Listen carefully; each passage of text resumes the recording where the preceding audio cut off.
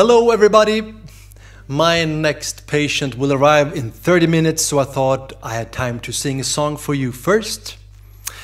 Most of my songs are humorous or try to be a little bit funny, anyways. But now and then I have to I have to write songs that are completely serious, and this is one of those. Um, because 10 years ago, a series of operations were performed at Karolinska Hospital in Sweden, in Stockholm. Uh, and I wrote a song about it. And unfortunately, every word in this song is true. Because this is the ballad of the superstar surgeon Paolo Macchiarini. Ladies and gentlemen, please let me sing. Let me tell a story so hideous and grim it is just as crooked as a tortellini. It is about the surgeon Paolo Macchiarini. It was in Stockholm, Sweden, 2010. A surgeon was recruited by enterprising men. They celebrated with champagne and martini. Hooray, we got the superstar Paolo Macchiarini. He wanted to facilitate the patient's respiration with advanced medical regeneration. He thought outside the box and anything goes. So he planted stem cells on a garden hose. But some people were somewhat skeptical. What if the new trachea does not stick at all? But no one likes a naysaying genie. So they cheered and bowed to Paolo Macchiarini. The next year in Stockholm, opening night, the OR was packed, everybody wanted a bite, but Paolo loved animals, protocol be cursed. So he tried the operation on humans first.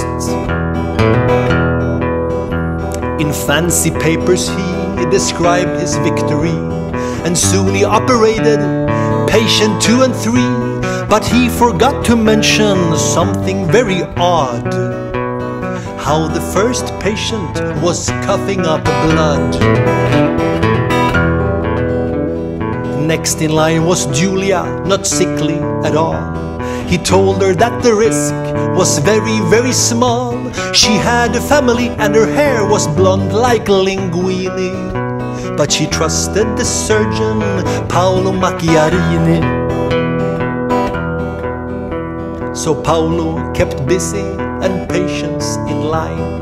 But the plastic airways weren't doing fine.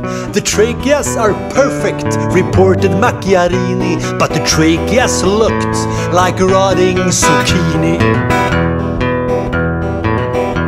One day four doctors finally awakened and shouted out, the emperor is naked. But the board said, how have you acquired these medical records?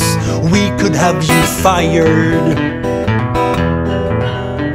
But soon everybody in this world could see Plastic doesn't work, but there was no plan B Slowly the patients lost their breath Their new fantastic airways caused a slow death At last Macchiarini, together with the board And the presidents were fired, thank the Lord but they got new jobs, are safe and sound. While half a dozen patients lay in the ground.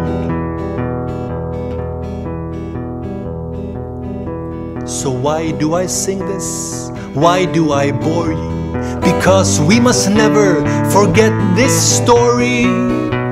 A mixture of Bergman and Fellini the ballad of the surgeon Paolo Macchiarini, the superstar surgeon Paolo Macchiarini.